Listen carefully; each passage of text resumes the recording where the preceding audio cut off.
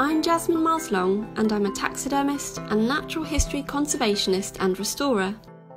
I'm conserving this stingray for Hastings Museum and Art Gallery.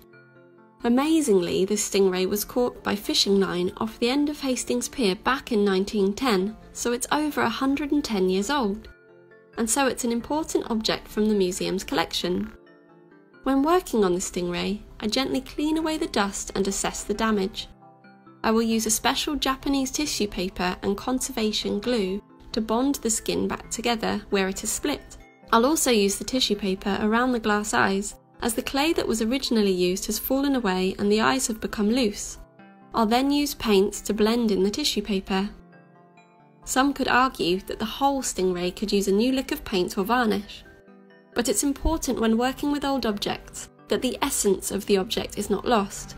We know this stingray is over a hundred years old, so we don't want him to look shiny and brand new because his age is part of his story and character. Natural history collections are an important source of information documenting the diversity of nature on our planet from the past and in the present. Museums that have a natural history collection, such as Hastings Museum and Art Gallery, will have a varied range of species, some that may be endangered or even extinct. So it's very important that these objects are well looked after as they're very fragile and prone to damage if they're not cared for properly. Taxidermy can get damaged easily by being overhandled or if it's kept in a room with fluctuating temperature and humidity. Taxidermy also needs to be kept clean and free of dust and dirt. Moths and carpet beetles will eat the skin and damage the fur and feathers, and other pests, even rats, might have a chew. And poor storage can create problems, because if the taxidermy is squished up against other objects, tails or ears may snap off or become damaged. Taxidermy is created by cleaning and preparing the skin of an animal, which is then sculpted over a form made by the taxidermist. In modern taxidermy, we create solid forms of the muscular structure, but historically many skins were simply stuffed with wood wool, which is a soft wooden shaving. And this is where the phrase stuffed animals comes from.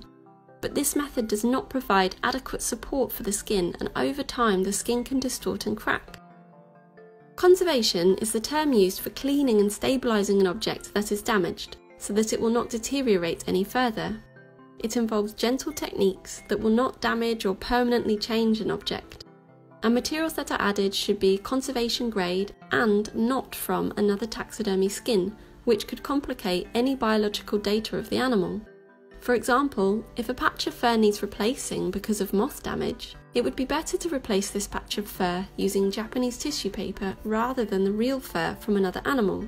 For in the future, a scientist may be conducting research and need to take a DNA sample from the taxidermy skin, but they might accidentally collect the wrong DNA from the new patch of fur, ruining their research.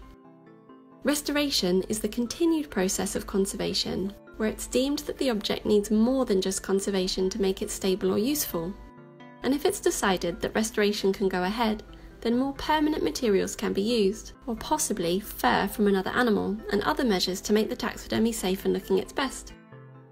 One thing that's important to remember when handling old taxidermy is to wear gloves and wash your hands afterwards, as the skin may contain some harmful toxins. Arsenic, which is a toxic chemical, was widely used up until the 1980s as an insecticide and preservative within taxidermy, but it's also very poisonous to humans.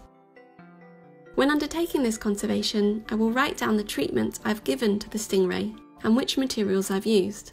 This information will then be stored in the stingray's notes at the museum, so in the future others will know what is original to the ray and what I did to conserve it.